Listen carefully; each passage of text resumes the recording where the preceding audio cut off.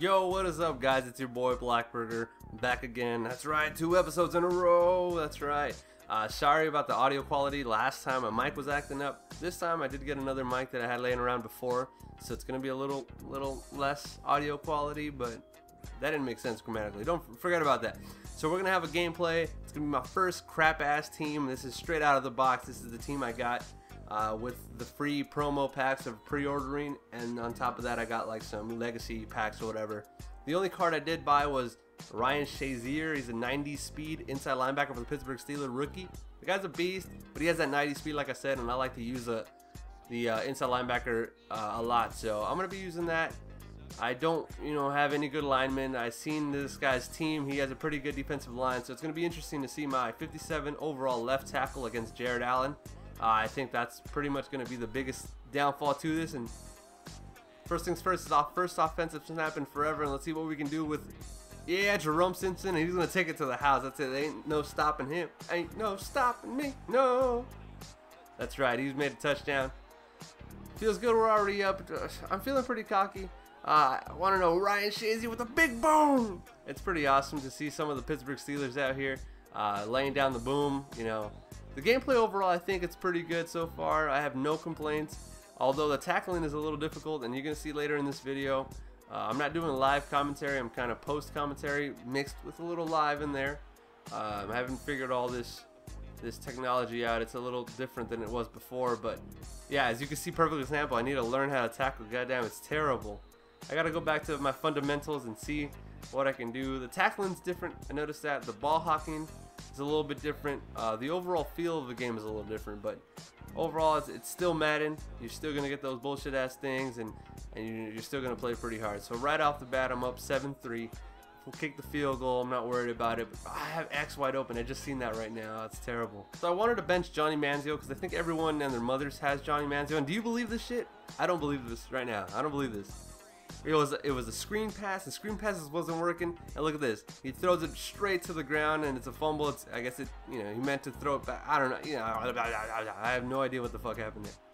He has Michael Vick. He has uh, Doug Martin as running back. He has a pretty good team. He obviously invested some money in, you know, the burger way. I don't like to invest money into a game that's, you know, not going to carry over.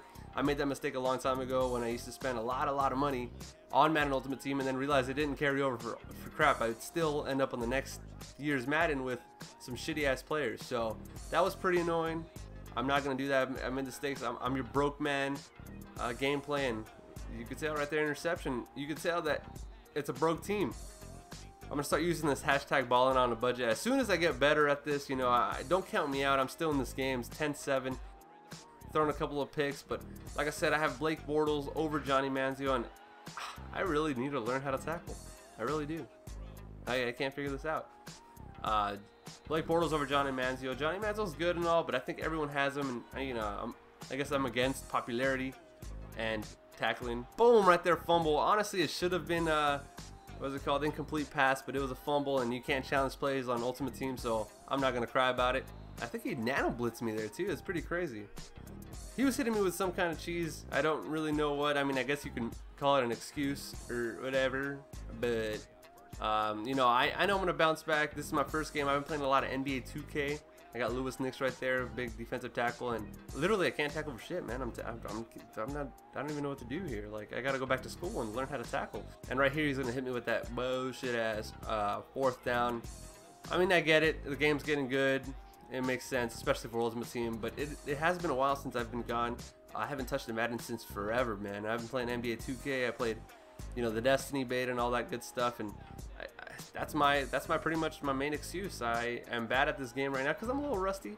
Uh, Blake Bortles will be back and I will start winning some games. I do get rocked. That's pretty much you know end story. I, I, lose pretty bad and because of stuff like this.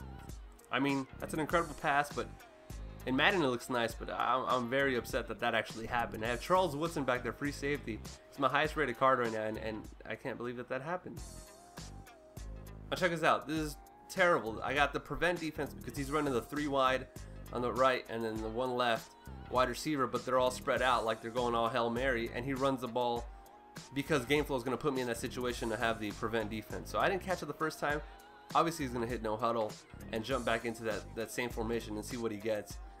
he is Michael Vick. So I wouldn't doubt it if he tries to scramble or anything, but I, I was very upset at this point. I had already lost the game, but he was just trying to add insult to injury, and that's kind of embarrassing, but that's what you get when you were messing with me.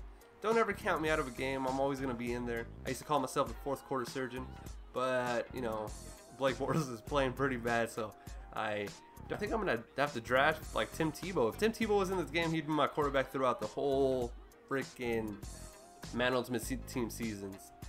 But don't ever count me out. I'm gonna be in here. I'm gonna come back.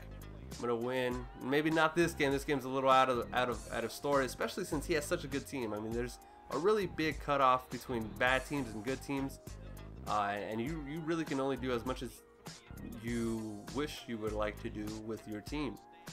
That didn't make any sense, did it? That's not even the point. The point is I got my ass beat. I'm no excuses. Uh, I gotta put you know put some time in the books and or not really books, but in the training camp thing, whatever they have going on, and see if I can figure out how to win this next game with Blake Bortles.